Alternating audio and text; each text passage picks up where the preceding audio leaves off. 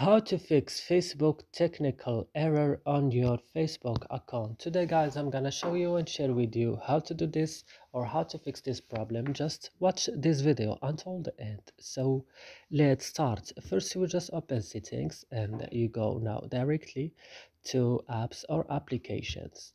Then on apps or applications you will scroll down and you will go directly to facebook Facebook application, then you will open it and you will scroll down and go to storage. And on storage, what you should do right now, just go to clear data, click on it, then click OK. And that's it, your problem will fixed. So I hope this video is useful for you guys. Don't forget to like, also subscribe in our channel. See you in another video.